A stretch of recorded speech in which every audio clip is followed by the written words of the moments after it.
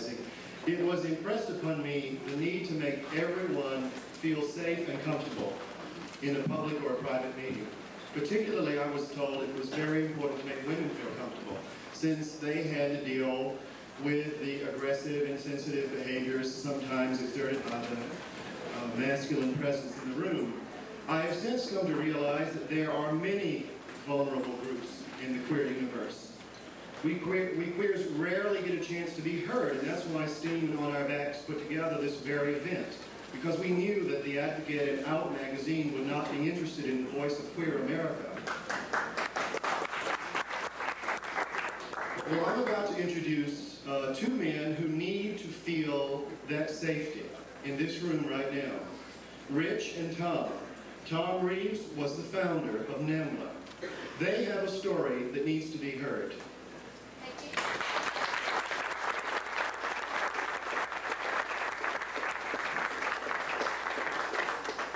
I'm the queerest of the queer.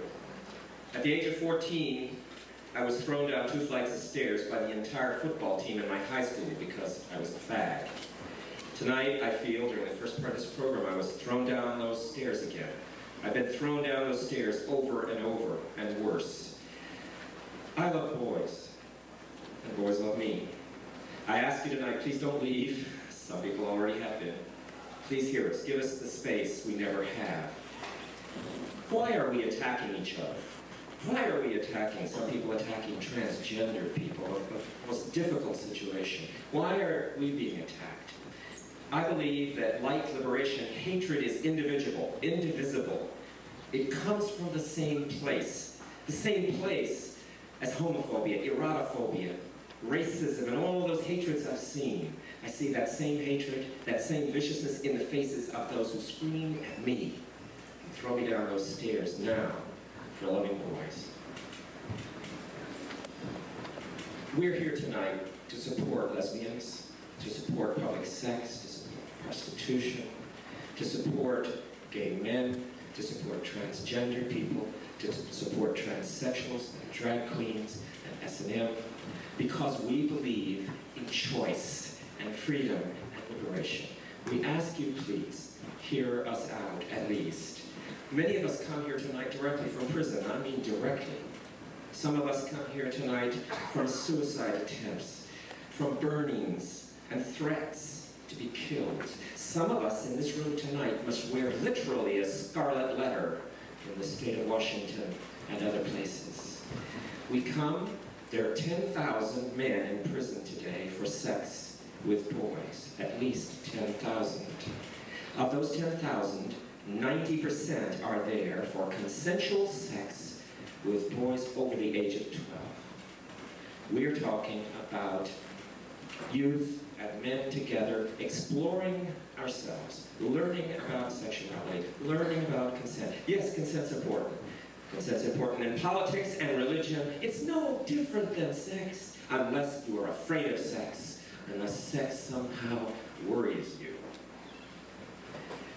Tonight I ask you, please don't prejudge us at our sexuality based on what is said by the media, the government, the police, the psychiatrists, the social workers. Somehow I don't think they describe you very well. Please let us tell you who we are. Hello, my name is Richard Stearns, also known as Richie. I'm 25 years of age. I'm an antique dealer. My family lives in West Virginia, but I grew up in Baltimore. About the time I met Tom, I just turned 14. Things were pretty hard in my life. I spent a lot of time on the streets, and I discovered sex very young. With both girls, boys, men, and women. I felt that sex was good, and I still love it. Tom, Tom is not the first man I went out with. Today I'm bisexual, but I identify as gay, and I'm happy about it. My girlfriend, some of my straight friends, Went last Sunday to Gay Pride in Baltimore, along with several of my past and present lovers, including Tom. I'm Tom Reeves. I teach history. I'm 55. My first lover was 14, and I was then 23. He is still my good friend. He's a prominent Canadian documentarian and writer. After 33 years of relationships, James Dubrow was here tonight, came down from Toronto to be here. And I thank him for that. I've had many other lovers from age 13, the youngest, to age 70, the oldest, but mostly teenagers. Many of my lovers have been my friends for life, and a few have lived with me for long periods. When I met Richie, I was also going through hard times. Because of my NAMBLA activism, I was under very heavy political surveillance. The FBI spent $10 million trying to prove we'd done something illegal and didn't. I went through one trial, though. My home invaded by police, my belongings seized, my diaries taken and never returned. There were sensational and false headlines. Then about that time I met Richie. We had to be very careful. I just ran away from home. The cops were pressuring me to testify against a gay man I knew. When they caught me trespassing with other kids on a parking lot, they told me I'd go to jail for a long time if I didn't cooperate. I did not cooperate to nail this gay guy. I did not want to hurt this guy. He was my friend. The day I met Tom, I told him about what happened to me, and he said he tried to help. Richie and I spent eight days circling Baltimore, staying in cheap motels, while I tried to arrange through a lawyer for him to turn himself in, but with an arrangement that they wouldn't force him to testify and that he could go home instead of to a juvenile jail. We had a real adventure. It was a lot of fun, despite the worry about police. That's when I got the idea to have sex right on state lines. On that trip alone, I think we hit about four. How many do we have now? 18. We did it on state borders, so we'd be breaking as many laws as possible. I remember sex one time on top of the car in the woods, right in the middle of a deserted road on a state line. One night in the motel, I left you naked in the room while I went to the laundry with your only set of clothes. When I came back, you were gone. Scared shitless. I found you playing a video game in a nearby store wearing only a towel. We also had sex in a cave. It was a guided tour, but we managed to make out behind a stalactite.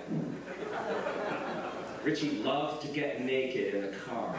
He could actually steer the car with his cock, no lie. It was amazingly big and strong, still is big.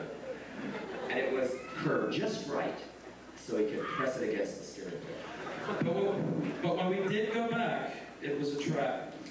The gay lawyer promised Richie could go back home, but when I dropped Richie off and he refused to testify, they sent him to one of Maryland's worst lockups for eight months. I thought Richie would never want to talk to me again, but he wrote me.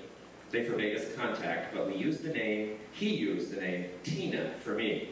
So for the next year, I was Tina. I knew the social workers, the cops, all of them really fucked me over.